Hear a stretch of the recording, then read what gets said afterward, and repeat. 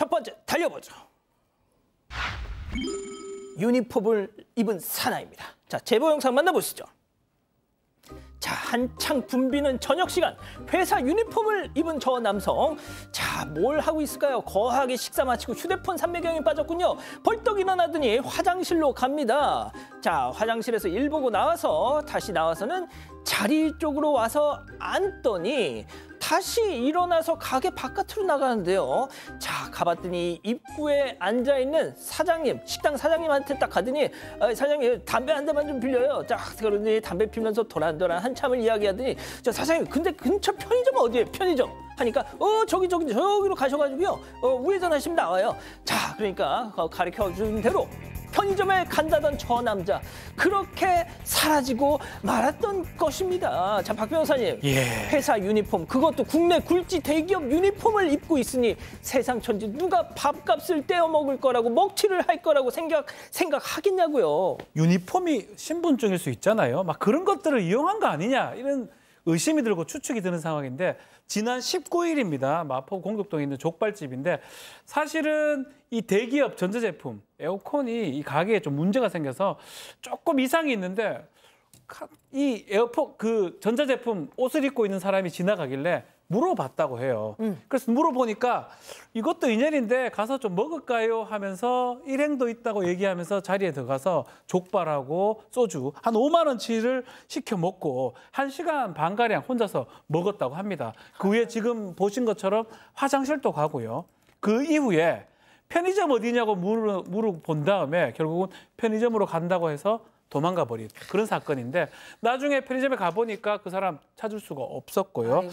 좀 답답합니다. 아마 유니폼을 좀 믿었던 거 대기업 회사니까 그렇지만 저 경찰에 신고를 해야 될지 이 기, 해당 기업에 물어봐야 될지 좀 의문 나는데요. 사실은 방법은 있죠. 어떤 얼굴을 걷어내면 바로 나옵니다. 아... 바로 지금 바로 예 우리 회사 직원 맞아요. 안 되는 거 알면서 바로 나옵니다 지금 회사 상표라도 좀 보여주면 되는데 이게 불가능하기 때문에 사장님 입장에서 너무 황당하다 이렇게 얘기를 하고 있습니다. 꼭 잡히길 바라겠습니다. 자 다음 또 이어가죠. 자 앞좌석에서 발이 쑥입니다. 자 국제선 비행기 안에서 벌어진 일 제보 영상 만나보시죠. 자 좌석 틈 사이로 사람 조기 띵 앞에 앉은 아이가 뒷좌석을 향해 저렇게 발을 두둥. 자 부모에게 말해도 달라지는 게 없자 결국 아이에게 한 소리를 하셨어요. 하지만 이것이 결국 어른들 간의 충돌을 낳았으니 그 장면 직접 보시죠 내가 잘못한 다면 욕을 해도 되나요 그렇게? 아니 그럼 저도 발 사진 올릴게요. 발 사진 어? 올릴게요. 왜 욕을 하시나 얘한테? 욕안 했어요. 잘 얘기하면 될걸? 전문가 없다고 한 어때? 거잖아요. 안 했다 그러니까 영상 데도 되잖아 해요 전문가 없다고 일종의 아이고 나신 건가요?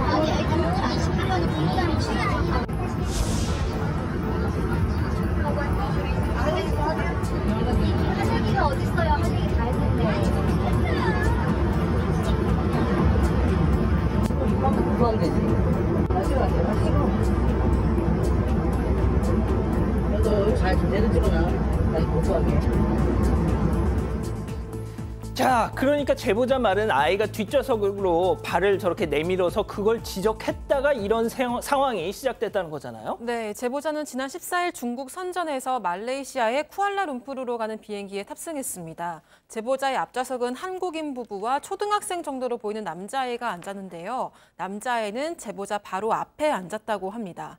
그런데 제보자 주장에 따르면 비행기가 이륙하고 나서 아이가 계속해서 제보자 자리로 다리를 내밀고 위아래로 휘 젓기도 했다고 합니다. 아이 엄마에게 이야기를 해봤지만 별다른 조치를 안 했고 결국 제보자가 직접 아이를 타일렀다고 하는데요. 그러니까 아이 부모가 내 아이에게 왜 그러느냐면서 화를 내기 시작하더니 급기야 먼저 촬영을 하기 시작했다고 합니다. 또 제보자가 먼저 반말을 하고 욕설을 했다면서 욕을 했다고 하는데요. 하지만 제보자는 반말도 욕설도 하지 않았다는 입장입니다. 자, 양 변호사님 좀 어떻게 보셨습니까? 글쎄요, 일단 지금 저 그 전에 어떤 일이 있었는지는 알 수는 없습니다만 명백하게 분명히 찍혀 있는 건 아이의 발이지 않습니까? 저거는 설령 뒷좌석에서 어느 정도 욕설을 했더라도 그것 저 앞서서 이 발에 대해서 아이를 단속하지 못한 것에 대해서 사과를 하고 시작했어야 되는 거 아닐까 싶어요. 아니 뭐 좀 심하지만 아이가 잘못한 건 맞지만 뭐 욕설까지 하십니까?라고 시작한 것도 아니고 만약에 아무렇게 어떤 말도 아이에게 심한 말도 하지 않았는데 저렇게 나왔더라면 저거야말로 주변 분들이 다 보고 있는 상황이어서 명예훼손 명예훼손보다는 감정적 표현이라서 모욕에 가까울 것 같거든요. 주변에 사람들 굉장히 많지 않습니까? 아, 그나저나 저 제보자분 같은 경우에는 저렇게 심한 사- 말이 오가는 상황에서 더 어떻게 보면 과한 행동을 안 당한 거 정말 천만 다행히 잘하셨습니다. 저기서 뭐 우격다짐이라도 했거나 서로 막 뭐 더 험한 말 나왔으면 진짜 심각한 상황 될 수 있거든요. 예. 참고로 이 제보자님은 자녀가 네 분이라고 하셨, 네 명이라고 하셨어요. 이 다중 이용 시설에서 자녀를 이렇게 키우는 건 아닌 듯 싶어서 저 어, 그걸 지적했다고 하셨지만, 자 아무튼 반대편 아이 부모님들도 반론을 주시고 싶으시면 언제든 저희한테 연락을 주십시오. 좋습니다. 다음 이어갈게요. 예, 잘못된 선택입니다. 충격적인 제보 영상 만나보시죠. 자, 빨간 차 뒤에 포대기가 대롱대롱. 저 뭐야? 오리 두 마리가 아예 인형이겠지가 아니라 꽥꽥 꺼내줘 꽥꽥 하면서 입 지금 막 왔다 갔다 하는 거 보이시죠? 쉴 새 없이 울어대면서 두려움에 떨고 있어. 자, 그러든지 말든지 차는 오리를 매달고 쌩쌩 도로를 질주합니다. 아, 이거 뭐 하는 거야, 지금? 자, 지난 14일 지금 도로입니다. 경기도 하성에 있는 제부도로 가다가 저걸 보고 좀 찍었는데요. 차량 트렁크 문에 포대기가 끼워져 있고 그 포대기 안에 있는 게 인형이 아닙니다.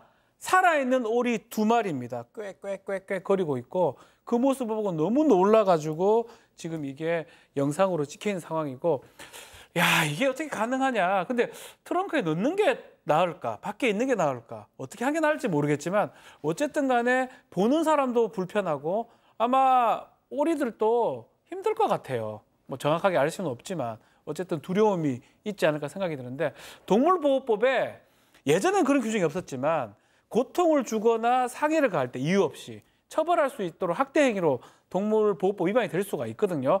저 행위를 동물보호법 위반인지 뭐 엄밀하게 말하기는 어렵지만 상식에 비추어 봤을 때 납득하기는 좀 어렵습니다.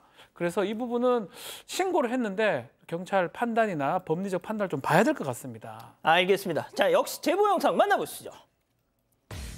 자, 이곳은 차가 쌩쌩 달리는 고속도로. 갓길에선 개가 몸을 저렇게 웅크리고 자, 견주는 옆에서 목줄을 쥐고 서 있습니다. 아, 슬쩍 남은 흔적을 들여다보는데요. 치울까요? 치울까요? 그럴 리가 없죠. 치우면 사반에 안 나오죠. 그냥 저렇게 가버립니다. 자, 교수님. 아유, 네. 미쳤어요. 어딜 저렇게 개똥을 내 차에 갖고 타란 말이에요. 예? 저럴 것 같아요. 네, 이 일은 바로 오늘 아침에 있었던 일입니다. 네, 오늘 7시 18분경 정말 출근 시간이죠. 저 영동 고속도로라고 하는데 제보자께서는 집 앞에서 저 영동 고속도로가 보인다고 합니다. 근데 지금 통행량도 굉장히 많은 시간이에요. 근데 이제 저런 일이 벌어졌어요. 그러니까 배설물을 당연히 견주가 가지고 가서 처리해야 되는 것도 요즘은 상식인데 또 저 개가 만약에 그 큰 어떤 고속도로로 뛰어들어오거나 이랬으면 정말 큰 대형 사고가 날 수 있잖아요. 그럼요. 이런 거를 봤을 때 정말 이런 건 재발돼서는 안 된다라는 생각에 제보를 하셨다고 합니다. 그렇군요. 알겠습니다. 자, 사연으로 가볼게요. 눈 깜빡할 새 호로록 짭짭입니다. 자, 집단지성의 판단을 원하십니다. 네, 남편이 밥을 너무 빨리 먹어서 고민이라는 아내의 사연입니다. 이 사연자의 남편은 헬스 트레이너자 보디, 보디빌더인데요. 처음 만났을 때부터 이 남다른 식사 속도를 자랑했다고 합니다. 이 사연자가 치킨 한 조각을 먹을 동안 세 조각을 먹는 수준인데요. 피자 네 조각이 남아서 두 조각씩 나눠 먹을 거라고 생각하고 천천히 먹고 있는데 순식간에 세 조각을 먹은 적도 있다고 합니다. 그렇다고 사연자가 느리게 먹는 건 절대 아니라고 하고요. 오히려 빨리 먹는 편이라고 합니다. 사연자는 남편이랑 밥을 먹으면서 같이 얘기도 하고 싶은데 순식간에 음식도 사라지고 식사도 끝나버리는 겁니다. 그런데 먹는 걸로 지적을 하면 기분이 상할까 봐 아, 밥을 천천히 음미하면서 먹자 이렇게 돌려서 이야기를 해봤다고 합니다. 하지만 변한 건 없었고 사연자가 남편의 식습관에 맞춰서 억지로 빨리 먹다가 살이 10kg이나 쪘다고 합니다. 아이고야. 괴롭지만 남편 식습관을 맞추는 게 좋을지 아니면 딱 잘라서 이야기를 해봐야 될지 고민이라고 사연을 보내왔습니다. 그렇군요. 자, 기다리고 기다리셨던 put your hands up 타임. 지금 6천여 분의 우리 가족 여러분들 함께하고 계신데요. 채팅창에 OX로 함께 참여해 보시죠. 먼저 남편입니다. 다혜야, 진짜 해도 해도 너무한다. 너 내 마누라 맞아? 아니, 다른 여자들은 신랑이 뭐든 잘 먹으면, 어, 오빠 완전 짐승. 더 먹고 싶은 거 없어? 하면서 더 못 먹여서 안달이라는데 잘 먹는 걸 갖고 세상에 타박을 해. 어, 너 네 신랑 입에 드, 어? 피자 두 조각 더 들어가는 게 아깝니? 내가 이 어? 밥심 엉뚱한 데 쓰겠냐고 너한테 쓰는 거 아니야 동그라미. 아 그렇군요.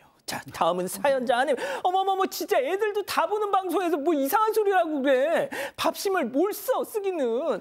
내가 오빠 먹는 게 아까워서 그런 게 아니라 좀 없어 보여서 그래. 걸씬 들린 것 같다고. 오빠 건강 그리고 내 건강. 그게 걱정되는 어서 하는 소리기도 하고 또 우리도 남들처럼 제발 부부끼리 오붓하게 얘기도 하면서 좀 먹자 좀! X 자 양 변호사님 따로 드세요 그냥. 뭘 같이 드시려고 해요. 아? 결혼한 지도 2년이나 지났다면서요. 사실 이제 이건 웃자는 얘기인데 저는 솔직히 저도 먹는 속도가 그렇게 빠른 편이 못 되거든요.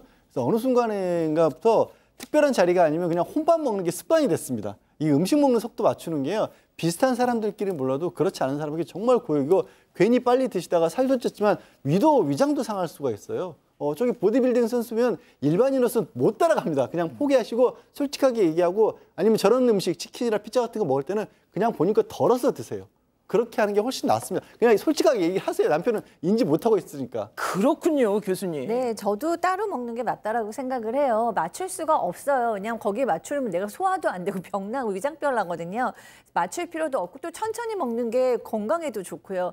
근데 이제 또 남편도 남편의 속도가 하루아침에 만들어진 게 아니라 굉장히 일찍 만들어진 거고 저도 보면은 급하게 예를 들어서 뭐 의사였던 분들 레지던트 때 먹었던 그 방식 때문에 지금도 후루룩 드시는 분들도 있고 뭐 열심히 공부했던 수험생들도 그런 경우가 많고 근데 옛날에 버릇을 고치기가 쉽지 않더라고요. 저도 그냥 따로 드시는 게 낫겠다. 박 변호사님 근데 이 바디빌더시다 보니까 어, 대회에 나갈 때는 극심한 이 다, 다이어트를 하지 않습니까? 그렇죠. 근데 이제 운동 대회에 안 나갈 때는 마음껏 먹고 싶거든요. 그런 게 있어서 그런 것. 저는 또 반대로 좀 빨리 먹는 편이에요. 남들보다는 일찍 먹고 일어나는 편인데 저도 뭐 마, 마찬가지로 따로 좀 식사를 하라. 그리고 식사 중에 뭐 대화 대화는 밥 먹고 해도 되긴 하거든요.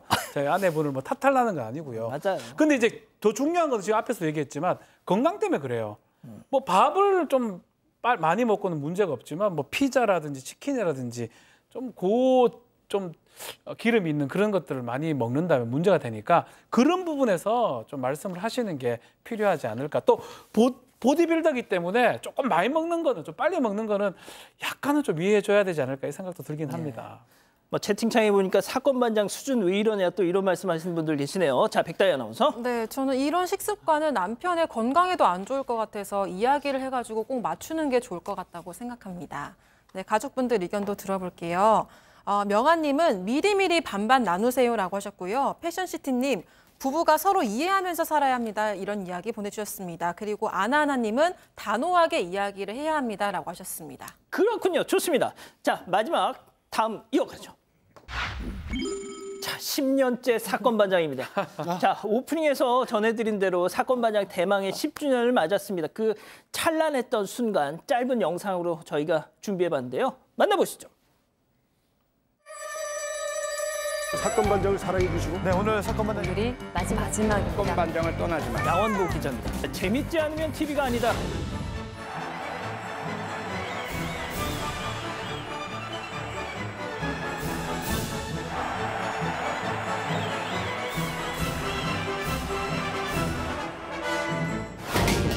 짠!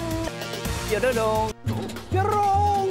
6시 반 내 고정 사건 반장 6번 2,000회를 됐기 때문입니다. 에브리바디 감사합니다. 만세!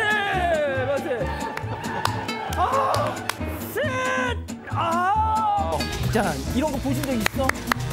네, 맞습니다. 사랑 가족 여러분들을 모시고 함께하는 대망의 사건 반장 공개 방송 사방 가족 모임 고민 중개사 양원보 weekly 사건 네. 그렇습니다. 이 황금 시간대 싫어고 살아남을 수 있을지 싫어고. 유튜브 채널 구독자 30만 명을 돌파했습니다. 예, 대한민국과 전 세계 동포 가족 여러분의 시선을 모아 모아서 출발합니다. 와우, 와우, 저렇게 보니까 진짜 별짓을 다 했네요, 진짜. 자, 2014년 9월 22일 월요일 첫 방송 이후 10년. 아, 정말 시사 프로그램계의 전원일기다. 이렇게 정의하고 싶고, 우리 가족 여러분들의 응원과 성원 다시 한번 감사 말씀 올립니다.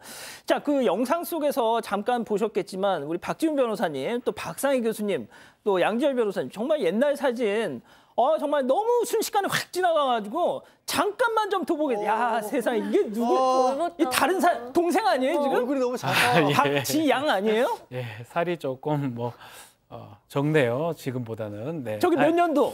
2000 저는 15년인가 16년인가 그 무렵 같습니다. 15년도. 예, 예, 예.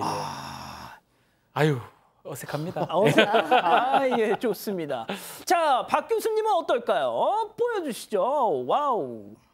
아, 아유, 귀여워라. 아 우, 완전 소녀, 소녀. 교수님. 정말 뭐 이렇게- 10년 전이네요. 뭐 이렇게 자기 모습에 취해 또. 아, 네. 아이고, 아. 진짜 옛날이오네요. 아유, 똑같아, 똑같아. 아이, 정말 제가 사반 찐팬입니다. 아유, 좋습니다. 자, 근데 여기 계신 분들이 정말 감사한 것이 아, 사건 반장이 워낙 인기 방송이다 보니까 전현직 국회의원들이 그렇게 많이 나왔습니다. 하지만 그럼에도 불구하고 여기 계신 분들 정말 초지일관 방송인으로서의 한길 그게 또 어, 사반이 사랑받는 비결이 아닌가 싶은데 양 변호사님 안 그렇습니까? 뭐 저희가 변한 게 중요한 게 아니라 진짜 10년이면 강산도 변한다는데 그 기간 동안 시청자분들이 내내 안 떠나셨던 거 아니에요. 늘어나시면 늘어나셨지. 시청자분들에게 감사를 돌려, 돌려야죠. 예. 맞습니다. 어, 백다희 아나운서도 할 얘기 있나요? 네, 아, 저희 사건 반장이 10주년이라는 영광을 맞이할 수 있었던 건 모두 가족 여러분들 덕분이기 때문에 앞으로 30주년, 50주년도 맞이할 수 있게 앞으로도 많은 사랑 부탁드리고 저희도 열심히 하겠습니다. 아, 50주년 때 JTBC가 남아 있을까요? 자, 지난 10년간 프로그램 폐지 위기를 몇 번이나 거듭했지만 가족 여러분들의 변치 않은 사랑과 응원 덕분에 여기까지 무사히 왔습니다. 정말 사랑하고 감사합니다. 자만하지 않고 계속 겸손한 마음으로 앞으로의 10년도 준비하겠습니다. 끝나지 않습니다. 계속 이어봐 주십시오.